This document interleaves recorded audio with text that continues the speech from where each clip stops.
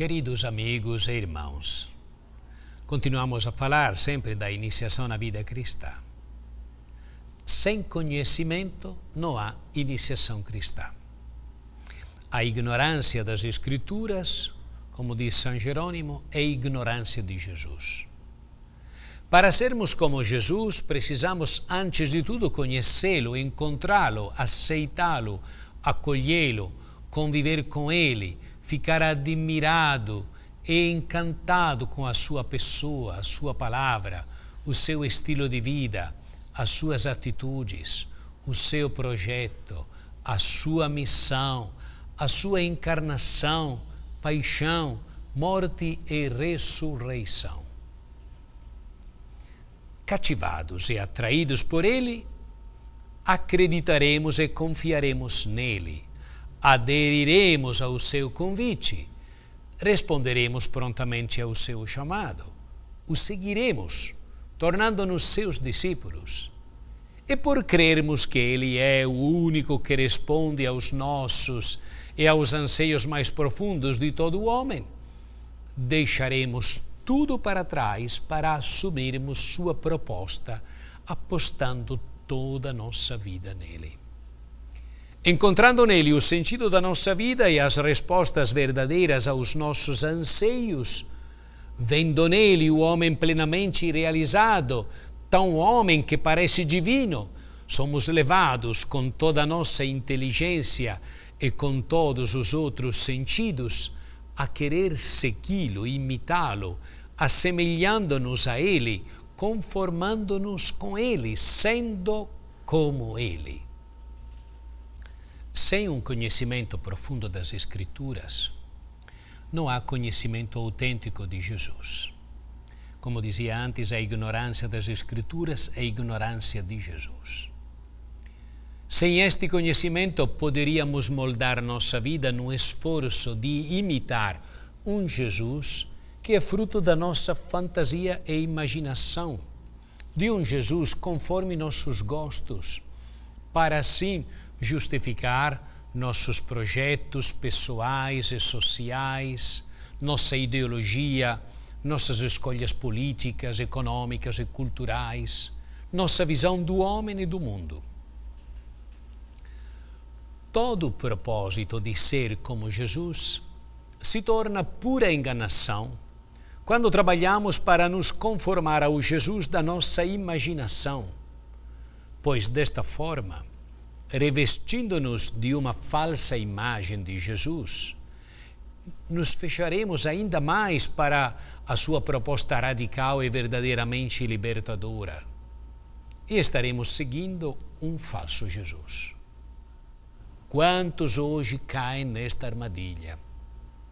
Quantos grupos e movimentos religiosos, por causa de uma leitura e interpretação equivocada das Sagradas Escrituras, enganam a si mesmos e aos outros, apresentando-lhes um, uma imagem redutiva de Jesus, tão diferente daquela apresentada pelos evangelhos e pela igreja. A proposta do mundo e o caminho de Jesus são tão diferentes. Mas quem é Jesus? Qual é o segredo da sua vida? Só podemos entender a identidade verdadeira de Jesus contemplando na cruz, quando nos mostra de que maneira é filho de Deus, como ele nos salva e em que consiste esta salvação. É bom fazer isso, relendo o percurso com o qual Jesus prepara os seus discípulos para compreender o segredo da sua missão.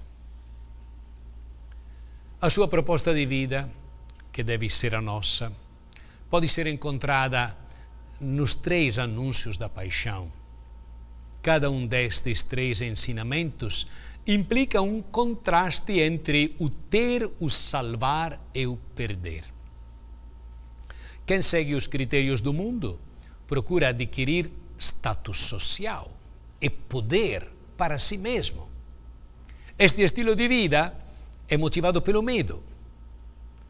Quem segue os critérios de Jesus aceita perder a vida, o status social e todo o poder para levar a boa nova aos outros. Este estilo de vida é motivado pela fé. O caminho do mundo consiste em salvar a si mesmo por medo. As pessoas que olham para si mesmas querem salvar a própria vida, ganhar o mundo, ser grandes, exercer o poder sobre todos, dominar. As autoridades religiosas do tempo de Jesus têm status social, poder, segurança e estão ocupadas em conservar todas estas coisas. Amam o poder, consideram-se importantes e abusam do seu poder. Defendem seu poder a todo custo, também aquele de destruir os outros.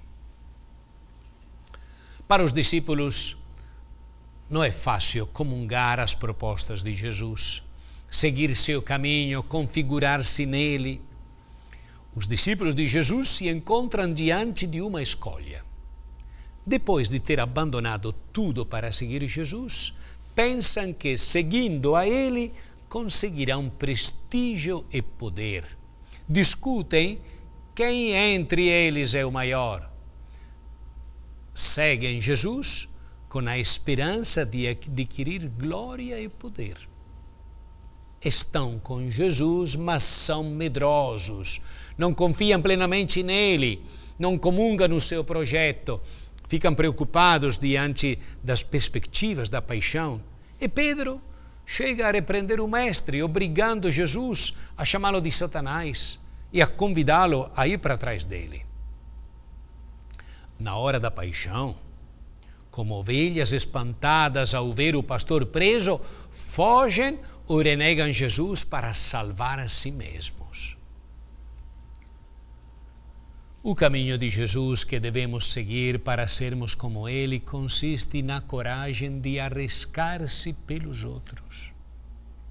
Diversamente das autoridades, que se consideram grandes pelo prestígio e o poder exercido, aumentado à custa dos outros, Jesus considera verdadeiramente grande quem deixa o prestígio e o poder que tem ou pensa de poder ter, em favor daqueles que não têm poder nenhum.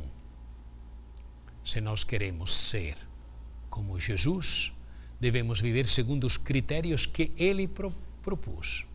Estar prontos a perder a própria vida, por ele e pelo Evangelho, a ser o último de todos e o servo de todos, a diminuir a si mesmo para não prejudicar os pequenos. Para ser como Jesus, devemos ser como uma criança ou um servo de casa. Aos discípulos, que com as palavras de Pedro declaram de ter deixado tudo, Jesus responde que agora o mundo está revirado. Muitos que são primeiros serão últimos, e muitos que são últimos serão primeiros. O contraste entre o seu e o pensamento do mundo é explícito. Diz o Evangelho que Jesus então chamou os discípulos e disse: Sabeis que os que são considerados chefes das nações as dominam, e os seus grandes fazem sentir seu poder. Entre vós não deve ser assim. Quem quiser ser o maior entre vós, seja aquele que vos serve. E quem quiser ser o primeiro entre vós, seja o escravo de todos. É bom lembrar que quando Jesus dá estes ensinamentos, não está falando aos escravos, ou às mulheres, ou às crianças, a quem na sociedade de então era já destinado a servir.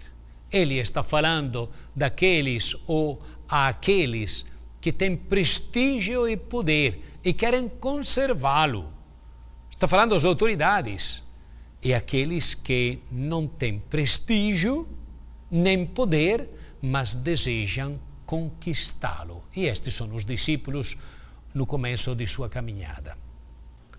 Ser como Jesus é escolher e assumir os seus próprios critérios, isto é, colocar-se a serviço das pessoas, sem procurar aplausos para si mesmos. Proclamar a verdade de Deus mesmo quando não lhe convém, tornando-se vítima daqueles que o condenam. No Getsemane, quando chega, aceitar a vontade do Pai. Não o que eu quero, mas o que tu queres. Mesmo experimentando o grande medo de morrer. Na crucificação, aceitar de ser o último da sociedade, ridicularizado, rejeitado. Abandonar todo tipo de poder, perder a vida por causa do seu anúncio. Meus irmãos, Jesus é oposto de uma pessoa centrada sobre si mesma. Ele está centrado em Deus, visando o bem dos outros. Que assim seja também para nós, como Ele, em tudo. E Deus abençoe, em nome do Pai, e do Filho, e do Espírito Santo. Amém.